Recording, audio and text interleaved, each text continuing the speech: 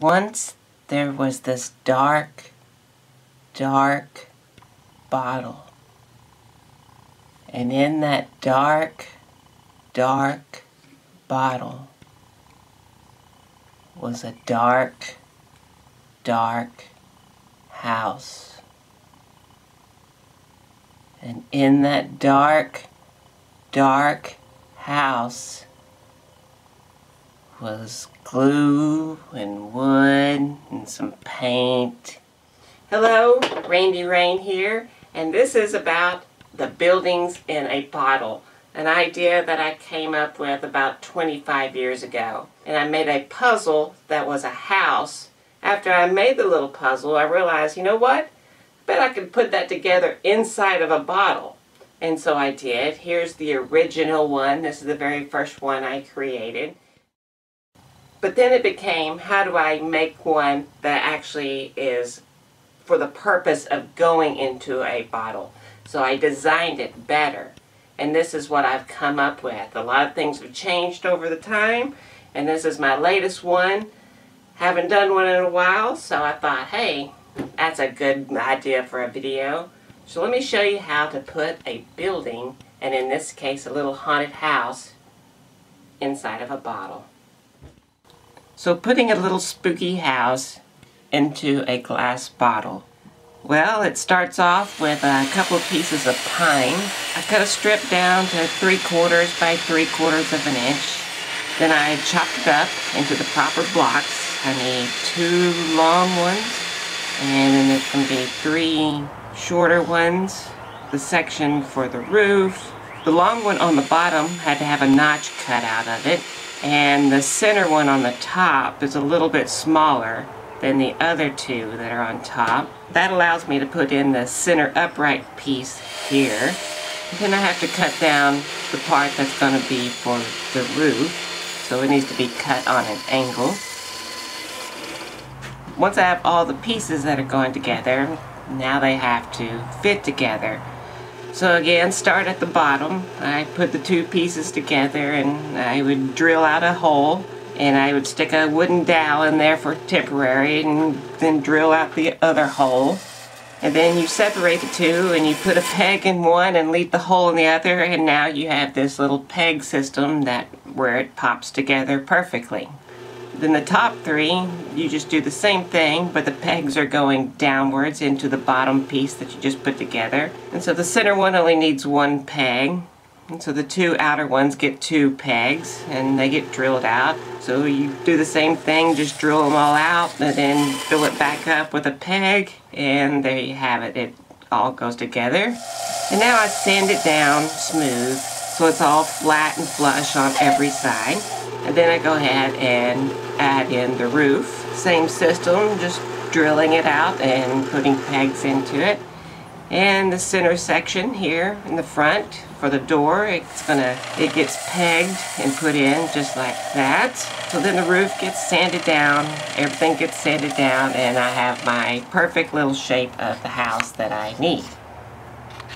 Each one of the cutouts that I made, even after the little peg, will go through the mouth of the bottle.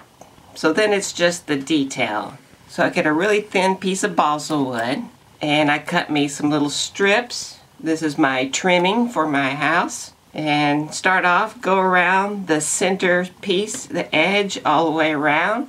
It's always going to connect to one side and lap over to the other one, hiding the seam. So on this long piece, the piece of trim can go the entire distance here. But on the side pieces, it's then connected to the top. Same with the front. And that hides all the seam all the way around. And then there's the vertical seams, and you go in and do the exact same thing. So everywhere there's a vertical seam, a little piece of trim gets lapped over and hides it. When I used to make these, I would just literally carve out the windows. I would glue a piece of balsa wood onto the piece of wood, and then I would go in with a Dremel and a knife and carve out the windows. This time I'm opting for 3D printing. These little windows and these doors came out great. So I glue those into place at this time.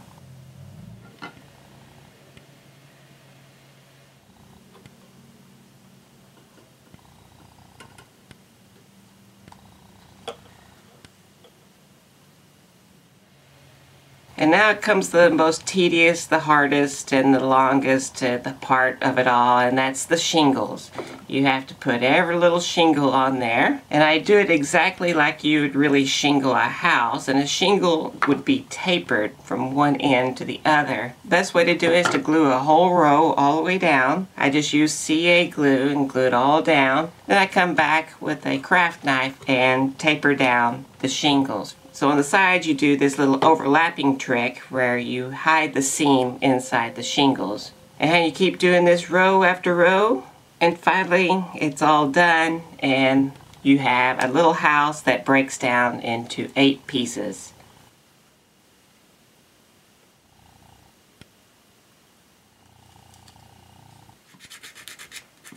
So next is painting, and I have found that you want to use enamel paint. So your typical little enamel model paints that you can get at the craft store work perfectly.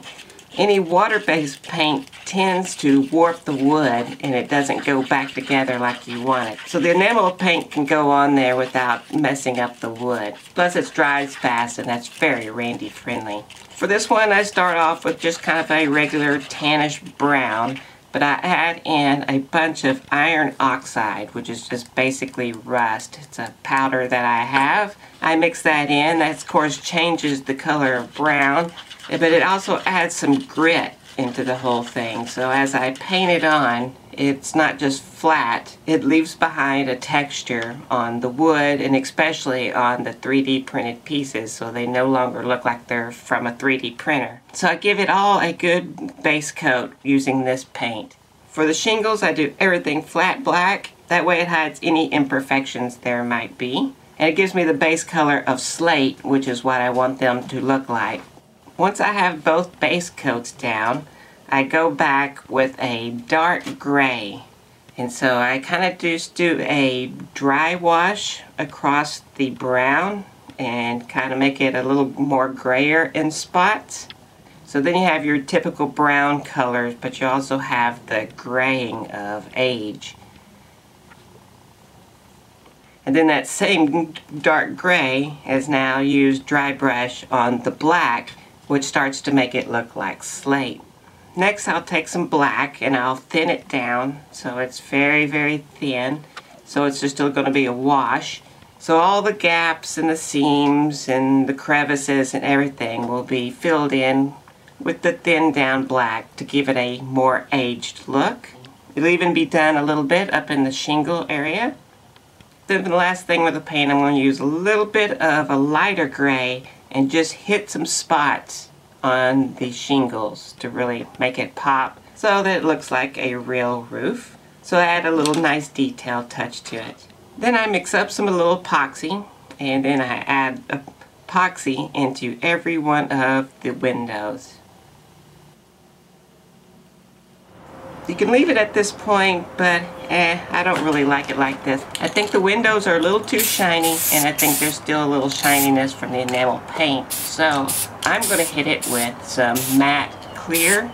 That will give it the finished matte look to it and it'll also kill a little bit of the shininess on the windows but at the same time all the colors that are in the wood and the slates and everything are going to pop out more and once that's done, it's time to put it in the bottle.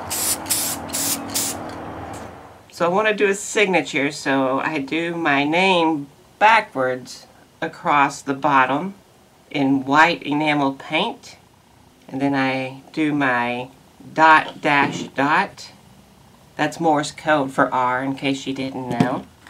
And then I fill the bottom full of black plastic that I add in some small gravel rock. And then that's my foundation, so it's time to add the house to it. The tools that I use are just these two pieces of metal rod.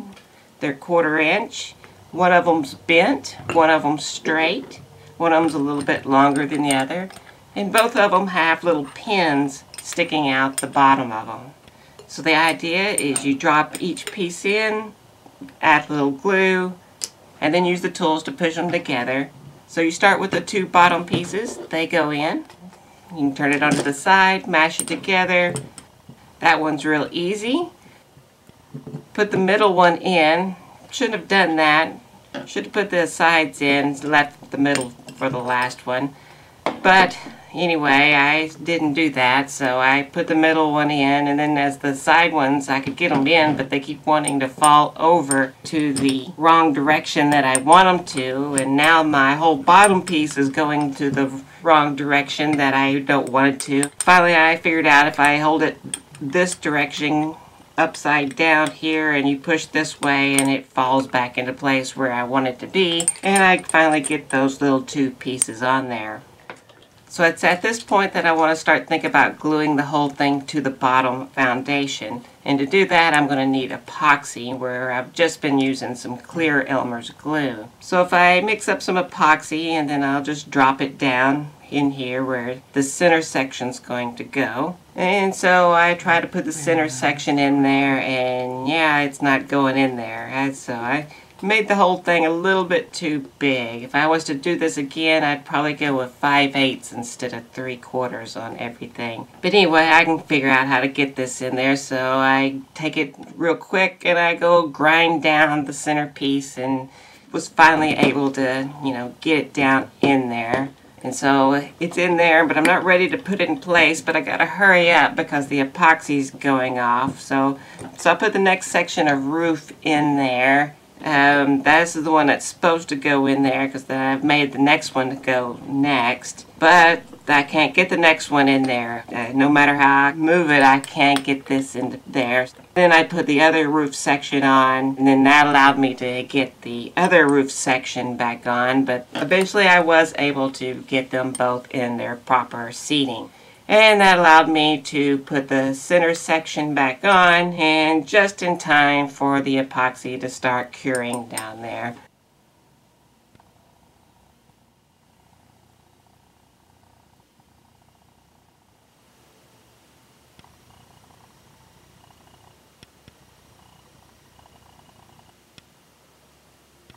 Well, I hope you enjoyed this video because, hey, this is one of my secrets. I'm giving the world one of my secrets here.